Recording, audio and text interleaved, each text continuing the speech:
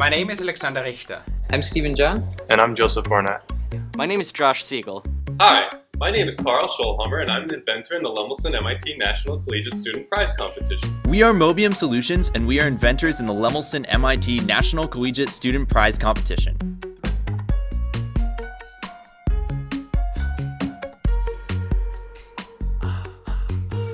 The global population is increasing by 200,000 people every day.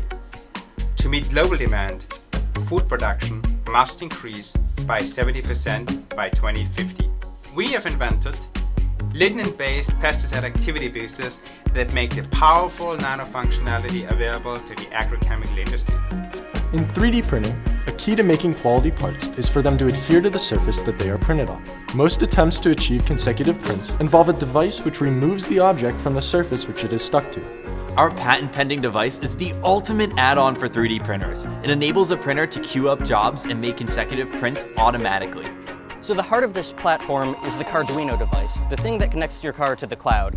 It's what lets you read data from all of the sensors and control all of the actuators in your vehicle. During our time at these low resource settings, we're able to see that in order for medical devices to have a high impact, they not only have to be simple, but they also have to be resilient.